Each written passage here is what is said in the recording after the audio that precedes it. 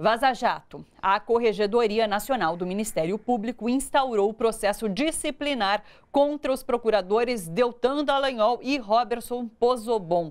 Eles têm prazo de 10 dias para se manifestarem sobre as mensagens divulgadas pelo Intercept Brasil e Folha de São Paulo no domingo, que indicam que os procuradores buscavam enriquecer com a realização de palestras.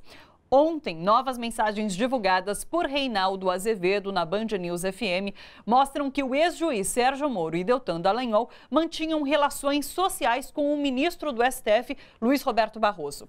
Em mensagens trocadas em agosto de 2016, Moro e Deltan conversam sobre um jantar na casa do ministro. Moro pergunta: Está confirmado o jantar no Barroso? Deltan responde: Ele acabou de confirmar.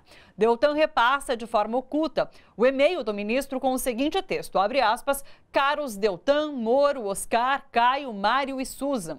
Tereza e eu teremos o imenso prazer em recebê-los para um pequeno coquetel jantar em nossa casa no dia 9 de agosto, terça-feira, às 8h30. Na medida do possível, desejamos manter como um evento reservado e privado, fecha aspas. Barroso é o terceiro ministro do STF citado nas mensagens. Antes dele apareceram Luiz Fux e Edson Fachin.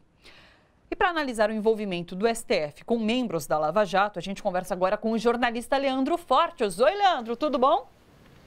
Tudo bom, Thalita, como vai? Tudo certo. E aí, terceiro nome, então, de ministro do STF envolvido aí com os membros da Lava Jato. O que, que você achou disso tudo? O STF, essas relações incestuosas do ministro Barroso e anteriormente dos ministros Fux e Faquim revelam que a gente está na mão de um sistema, de um poder judiciário completamente desvinculado das necessidades e da realidade é, do cidadão brasileiro. Nós temos um, um conluio, uma confraria, né? uma, uma, uma, uma relação de, de compadrio que faz com que nós tenhamos hoje no Brasil uma enorme insegurança jurídica. E a maneira como isso é feito, além de tudo, é ridícula. Né? Essa, essa, essa conversinha que foi captada pelo Telegram demonstra o grau de incestuosidade entre essas pessoas que perderam completamente os escrúpulos, perderam completamente o pudor e vivem numa realidade própria que despreza absolutamente a realidade brasileira. Então, é muito bom que isso tenha aparecido. Agora, essa tragédia, ela, ela não parece ter fim, Thalita, porque, de um lado, o Conselho Nacional do Ministério Público é, não faz nada. A Corregedoria vai analisar agora as falas do Deltan e, e, e do Pozobon, eles são corporativistas, eles não fazem nada. Basta ver a reunião da Raquel Dodge com, essa, com essas pessoas ontem, todo mundo achando que ela ia dar uma, uma, uma, uma bronca aqui, essa, né, deu apoio e fez parte da turma. A mesma coisa com Conselho Nacional de Justiça em relação às ações dos juízes e, e dos juízes supremos. Nós não temos muito onde sair, então a nossa única chance é continuar nessa luta na mídia independente, levar as pessoas para as ruas e expor internacionalmente o que está se passando aqui. Nós, uma das poucas chances que nós temos é expor essa gente, é mostrar o que está acontecendo e transformar esse ridículo numa revolução. Eu acho que a gente só tem essa saída.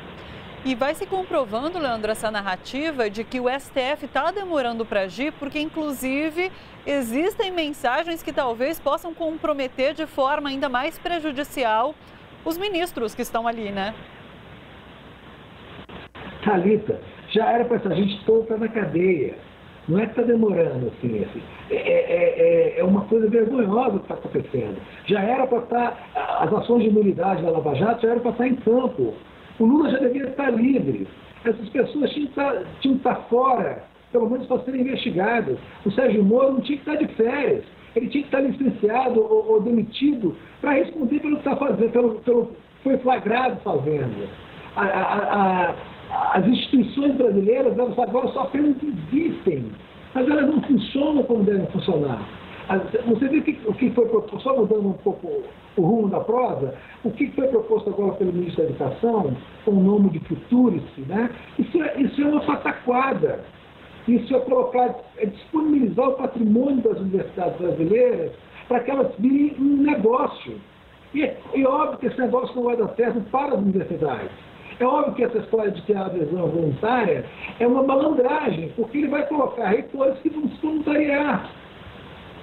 Nós estamos vivendo um, um, um, um, inferno no Brasil que vai desde esse problema das universidades até a relação de ministro do Supremo com procuradores, num conluio para prejudicar pessoas e líderes eh, e, e, a oposição, até essa questão dos medicamentos que afeta diretamente 30 milhões de pessoas.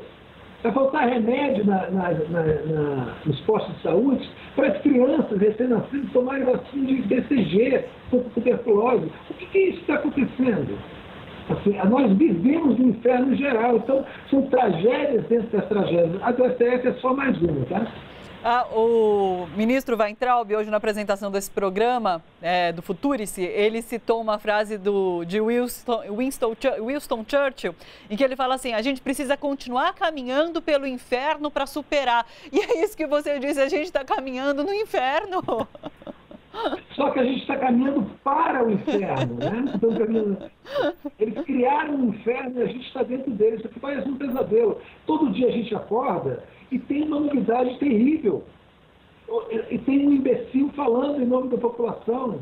E tem um idiota governando o país. E tem um demente nomeando filhos para embaixadas. A gente está vivendo esse inferno e ele foi criado, de certa forma, para punir né, para punir o Brasil. O Brasil está sendo punido por, porque, em algum momento, optou por lideranças populares, optou em votar, em defender bandeiras que eram, bandeiras, que eram, que eram contra essa coisa das elites, que eram contra a mídia brasileira, e hoje faz que está sendo punido por causa disso.